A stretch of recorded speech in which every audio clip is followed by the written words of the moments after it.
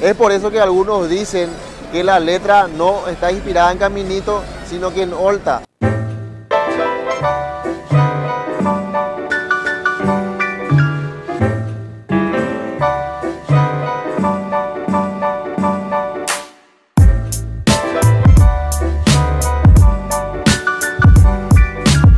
¿Qué tal? ¿Cómo están? Bienvenidos a un nuevo video.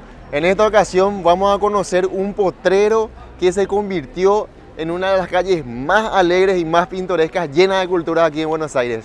Estamos hablando de Caminito y así se refería a él el famoso pintor boquense Benito Quinquela Martín. Así es que, ¡vamos!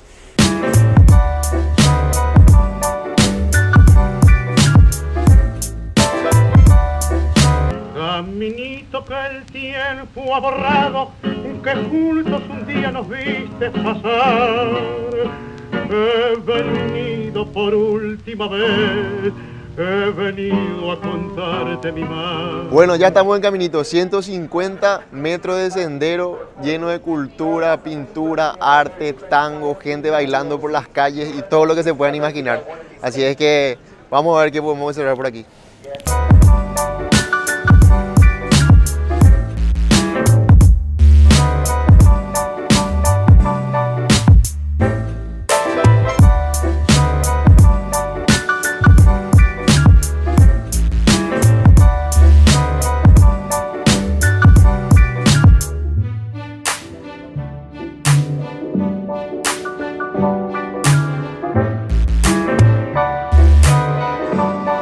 Mientras voy caminando le quiero comentar que el trayecto de Caminito se debe a que anteriormente por aquí cruzaba un arroyo que desembocaba en el riachuelo, que debía cruzarse por un puente pequeño al que le decía puntín, que proviene del dialecto genovés. Que de hecho, esto que ven aquí a mi espalda, que poco y nada se pueden apreciar, pero no se preocupen porque le iré mostrando de manera más detenida, son los tradicionales conventillos oquenses. Eran viviendas que caracterizan al lugar desde sus inicios en el siglo XIX y están construidas de madera y techos de chapa, que pertenecían a los inmigrantes genoveses de la época.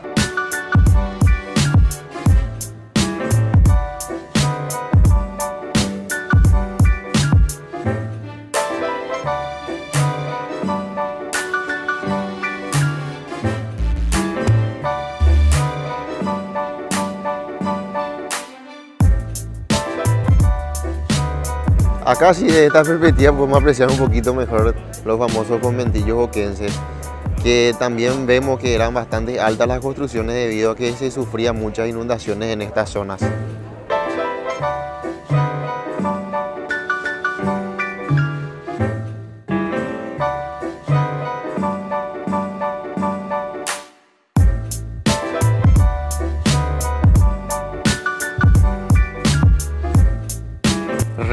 Quiero resaltar que este rincón del barrio La Boca de Buenos Aires es un lugar muy atractivo para todo aquel que le gusta el arte, la cultura y pasar un buen momento por sobre todo.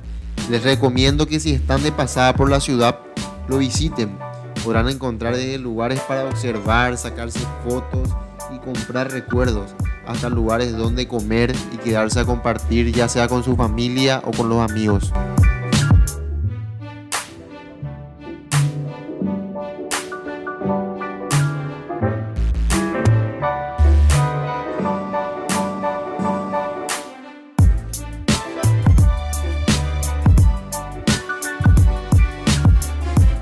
Pero no crean que esto siempre fue así. Recién en 1950 es que Caminito se convierte prácticamente en un sendero lleno de arte y de cultura, gracias a que el pintor Benito Quinquela Martín, que justamente tiene un paseo aquí con su nombre, tuvo la grandiosa idea de pintar este lugar de colores con unos vecinos de la zona y lo dejaron así, así como lo ven ahora.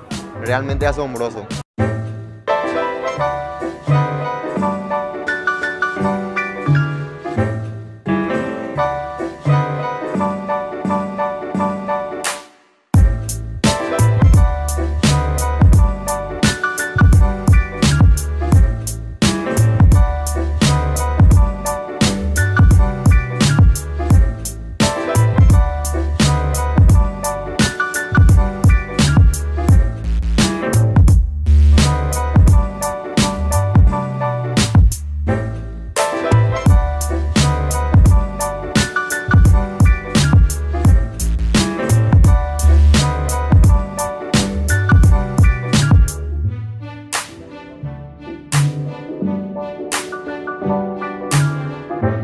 Según una historia que me comentaron sobre el tango de Caminito, que es una música muy tradicional de este lugar, nació en una reunión que tuvo Filiberto con Peñalosa en una confitería en la calle Florida 300.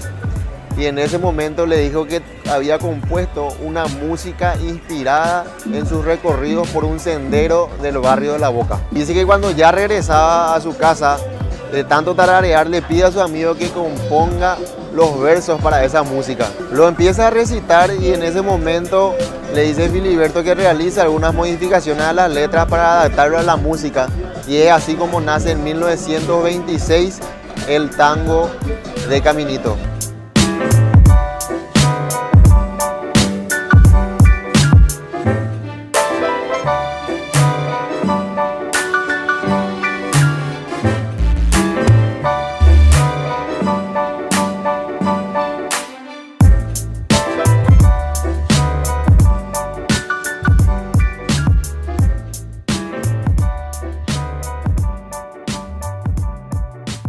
Es por eso que algunos dicen que la letra no está inspirada en Caminito, sino que en Olta, y que en realidad la música es la que está inspirada en Caminito.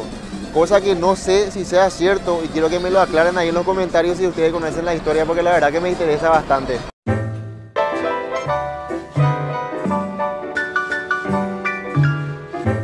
Bueno, esto fue todo, espero que les haya gustado el video. Les recomiendo realmente que si tienen la oportunidad de venir a Buenos Aires tienen que conocer el Caminito pueden venir a apreciar la cultura, pueden venir a comprar recuerdos, pueden venir a comer inclusive aquí. Hay muchísimas cosas para observar y para hacer. Y bueno, no se olviden de darle me gusta al video, de compartir con sus amigos, de suscribirse al canal y de activar la campanita para que notifique cuando suba mi próximo video. Nos vemos.